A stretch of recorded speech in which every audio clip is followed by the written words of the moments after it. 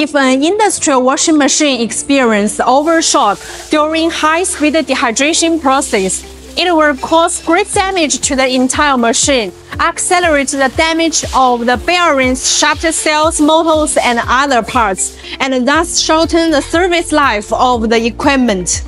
Now, Kingstar wet cleaning machine have upgraded on original basis, adopt the overshock sensors to avoid overshock and better protect the equipment.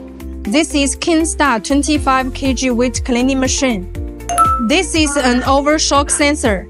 Now we have upgraded the uniform distribution technology and the anti-overshock technology on the original basis. Let me demonstrate in detail to you. In the parameter setting page, we have added the setting of overshock value. Here I set the overshock value to 200. In actual use, there is no need to set such a low value. This is just for better display to everyone. When the clothes are washed and ready to enter the high-speed spin process, they will be evenly distributed first. During the even distribution process, if the 3D sensor feedback exceeds the set overshock value, the Kingstar wet washing machine will re-evenly distribute.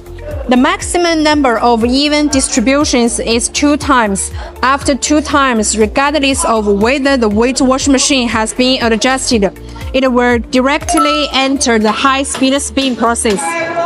As the speed increases when it reaches a certain speed, the sensor detects that the machine has reached the overshock value and will maintain the current speed for speed. After running for a period of time at the current speed, if the vibration value is lower than the set overshock value, the speed will continue to rise.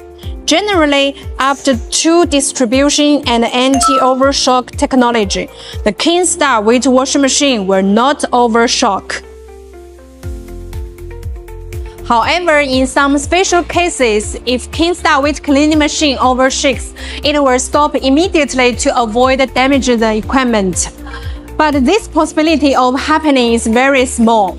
Kingstar use dual overshock sensor and anti-overshock technology to ensure stable operation and extend the service life of the equipment.